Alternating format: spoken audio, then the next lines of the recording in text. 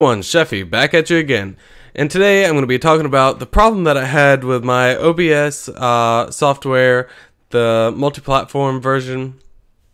Um, with the older ones, I had no problems with it, but anyways, uh, so whenever I was recording my videos, the audio whenever I tried to play the videos back was not working, even though down here the bar was jumping up and down. Now, the main thing that I did uh, that I think fixed it is go down to, you know, Cortana or whatever, and type in uh, app. You go to the App Store, uh, then you type in VLC, and then you hit that, and it looks like the street cone right there.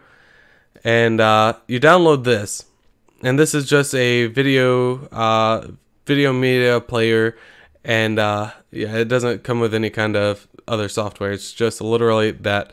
Um, and then whenever you have that downloaded, you go up to your video. I'm just going to use this one for example. Right click it, and then you hit open with, and then you hit open with uh, VLC for Windows Store. Now, I'm sorry for the uh, Apple users. I don't really know, you know, anything about those uh, computers and stuff like that. But as far as this goes, I hope this helped.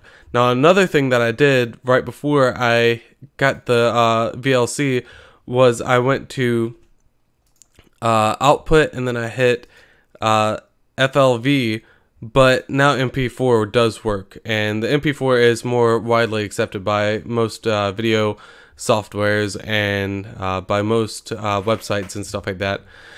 So I hope this uh, helped any problems that you had, or maybe fixed the problem that you had.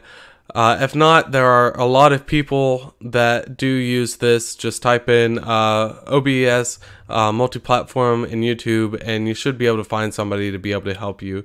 Um, but like I said, I just really hope this helped you because this took about an hour or so for me to fix. But anyways, as always, stay beautiful, stay sexy, and stay chefy. I love you guys, and have a great night.